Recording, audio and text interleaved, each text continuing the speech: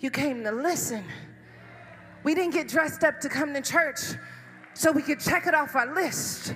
Somebody's in this room listening for something. I'm listening. Everybody else can come in here and be cute, but I came in here because I got to hear from God. God, I need you to speak a word. God, I need you to give me confirmation that I'm on the right track. God, I need you to pull me back. God, I need you to change my position. God, I don't know how to raise this child. God, I don't know how to build this business. God, I don't know how to be a partner. God, I don't know how to be a grandchild. What am I going to do after retirement? God, I need you to.